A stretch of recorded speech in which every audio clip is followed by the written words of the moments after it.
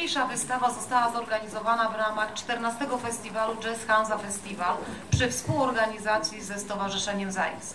Autorem, naszym gościem, wybitnym twórcą, kompozytorem, perkusistą jazzowym, fotografikiem, o czym pewnie mało z Państwa wiedziało, jest Andrzej Dąbrowski. Prosimy o brawa. Drodzy Państwo, Andrzej Dąbrowski urodził się w Wilnie i swoją karierę muzyczną rozpoczął W już 1938 roku. Chciałam to ukryć, ale autor ma bardzo dużo e, poczucia humoru. Już Państwo wiecie, w którym roku. W każdym bądź razie swoją karierę muzyczną rozpoczął już w latach 50. jako perkusista e, jazzowy i grał z takimi e, wykonawcami i twórcami jak Wojciech Karolak czy Andrzej Kurylewicz. W późniejszym czasie grywał również z takimi tuzami jazzu jak Jan Ptaszyn Wróble- Wróblewski, Andrzej Trzaskowski, Krzysztof Sadowski, Włodzimierz Nachorny, Zbigniew, Zbigniew Namysłowski czy Michał Uwaniak. Andrzej Dąbrowski to jeden z najbardziej wszechstronnych polskich artystów.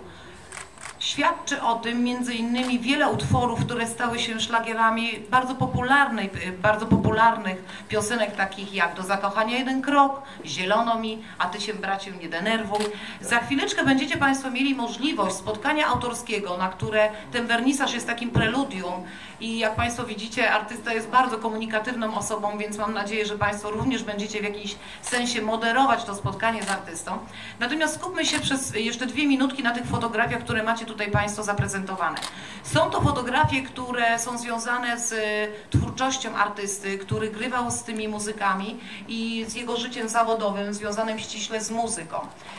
Wszystkie fotografie były wykonywane w aparatami analogowymi. Ci, którzy zajmują się fotografią, wiedzą, jak wiele uwagi i skupienia trzeba e, zebrać w sobie, żeby uchwycić ten jeden moment, żeby zrobić takie kadry. Są to fotografie czarno-białe, które w jeszcze bardziej e, graficzny sposób pokazują malarskość i graficzność jeżeli chodzi o światło i cień e, wydobywanych postaci. Proszę zwrócić uwagę, jak często pierwsze plany są gubione świadomie po to, żeby ten drugi plan wyszedł nam bardziej jakby do nas, do oka. Wspaniałe wąskie kadry, które macie Państwo tutaj za nami, też są wybitne, bo wtedy bardzo rzadko w ten sposób fotografowano. Jak sam